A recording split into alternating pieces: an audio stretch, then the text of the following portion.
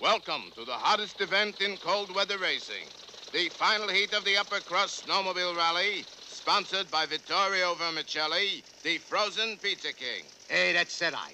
Vermicelli frozen pizzas in 39 flavors mozzarella, anchovy, green pepper. Thank you, Vittorio. Now here is that champ of champs, Tom Slick in the converted Thunderbolt grease slapper. Hi there, fans. Oh, Gertie, I do hope Tom carries the day and bears away the laurels. I just hope he wins. And here, skulking to the finish line, is the well-known punk sport and bad loser, Baron Otto Matic in his snowmobile, the Frostoblast Digaloo. Well, Clutcher, how much did you bet on me?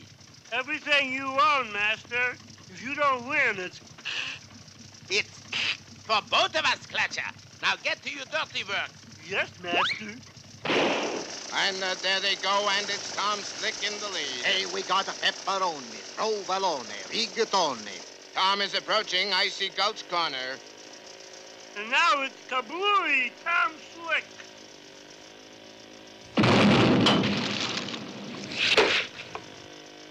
Baron to Clutcher. What spoiled the plan? A sudden snowfall. Sorry, Master. Now you must stop Tom Slick at Honeymoon Bridge. Yes, Master. Honeymoon Bridge is a narrow ice bridge over a deep crevasse. When Tom Slick tries to cross here, Kablooey!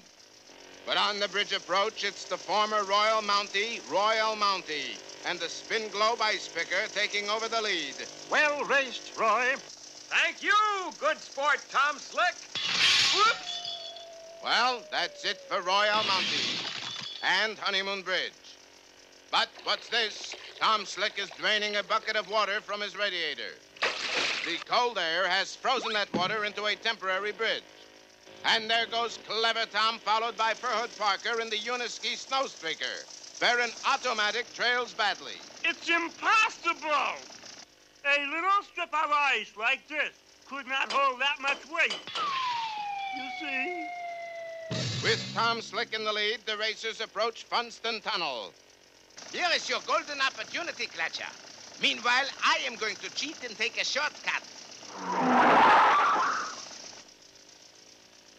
This time, Master, I cannot fail. When Tom Slick meets that snowball, kablooey! But wait, Tom is turning off the course and taking the long way over the mountain. Why? There, on the hillside, a sprig of Edelweiss. The girls would never forgive me if I didn't bring them a souvenir. Isn't it romantic? He's going to bring us back a sprig of Edelweiss. I wish he'd bring us a hot cup of coffee. I'd pour it in my shoes. And as Tom takes the high road, Furhood Parker takes the low road. What in the world is taking so long? Well, it's the end of the race for plucky Furhood Parker. You kablooey the wrong man, Clutcher. Sorry, Master. Here's that rotten cheater, Baron Otto Matic, entering the stretch run. But wait, here comes Tom Slick.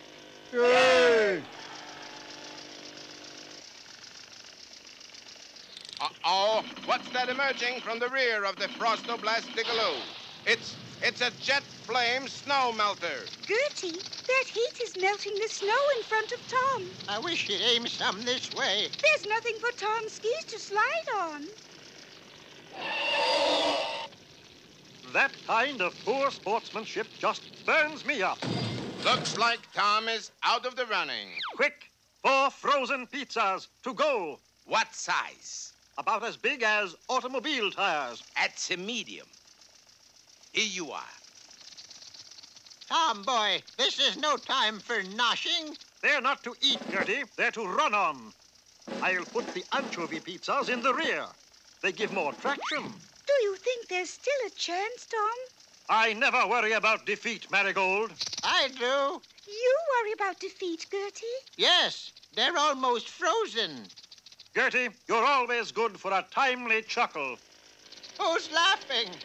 Both snow buggies are nearing the finish line, and uh, Tom Slick surges ahead. Yay! But this finish line is made of rubber.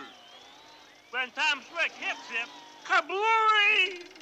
But the tremendous heat of the tire friction is rapidly thawing out those frozen pizzas. And uh-oh, there they go, just a foot from the finish line. And here comes the Baron.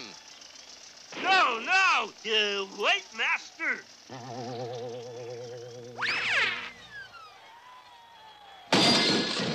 Well, Clutcher, we are ruined. Oh, I'm sorry I kablooied you, Master. Is there anything I can do? Yes. Give me your hat, please, Clutcher. Yes, Master. And Tom Slick pushes the converted Thunderbolt Grease Slapper to victory. Yay! Well, what do you think about vermicelli pizzas now, eh? Not much, sir. Frankly, they don't stand up under abuse. I love 'em, hon. Hey, ha ha. That's him more like. Yes, they make great foot warmers.